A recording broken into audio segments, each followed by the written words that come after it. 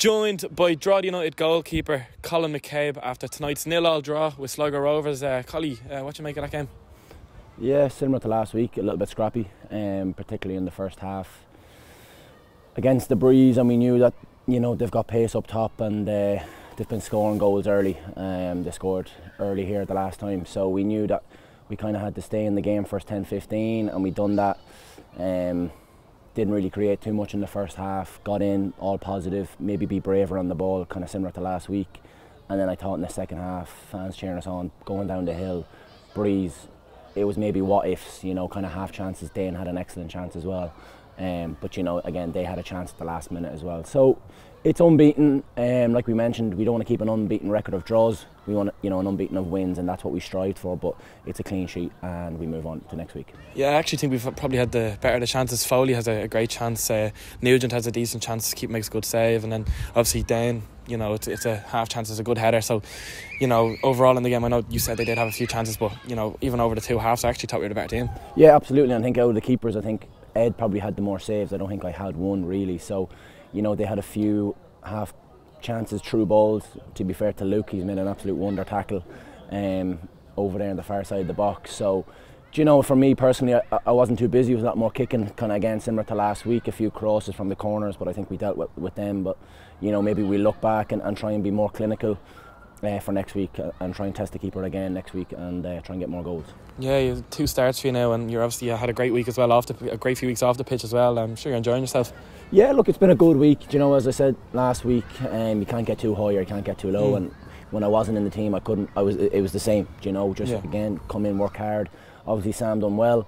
But on a personal, selfish note, it's one clean sheet. I think Sam had three or four. So, you know, I'm targeting that. I want to get clean sheets. I want to perform well.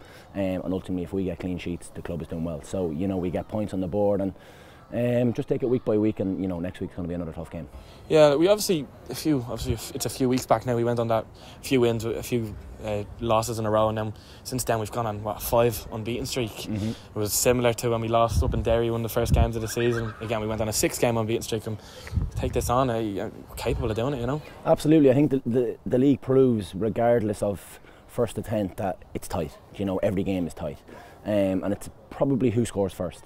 So, you know, we knew that again tonight. Last week we didn't panic, obviously, when we went 1 0 down. Um, but I think it is important going into games to score first and then believe. Once you score first, you know your tails are up. Um, but we fancy our chances. Like you know, it's only a couple of weeks ago we beat Shamrock Rovers here, but we want to do that more. It's we don't want that to be a one-off. you know? Um, but we just get back to basics on Monday, work hard, and, and I think that's what we've done well this week, going into a team that can score goals, but we, we obviously didn't let them score any tonight. Yeah, we've obviously now go away to Pats. Uh, last time we went there, it's a one all draw, and over on the game, I actually think we could have won that. Um, it was 1 0 for quite a lot of the game, and then obviously they come here and they got a 4 0 win. Um, to be fair, you know, they, had, they were excellent here that night. They probably didn't put a foot wrong the whole night. Um, but you know, they've coming off the back, they'll be sore after, you know, they're 2 0 up in the 88 minute against uh, Finn Harps and they've drawn 2 all now. So it's obviously they'll be they'll be sore after that, but, you know, we're going to be full of confidence as well. Exactly, and you'll expect a reaction, you know, knowing the manager from last year, he'll, he'll uh, try and get a reaction out of them. You know, he'll be putting the pressure on them again. Like I said, very similar to next week, first 10, 15 minutes, they will come out of the traps and they'll shoot you know. Um, but we can believe, again, regardless of the scoreline, you look at, like you said tonight, Finn Harps 2 0 down, 88 minutes. So anything's possible. Um, you know, it, it would have been nice to get that win tonight to going in to next yeah. week and be a bit more positive. But again, like we said, we're full of confidence in there. Um, unbeaten in five, so let's try and keep it going as well. Perfect, fair play. Brilliant, thank you.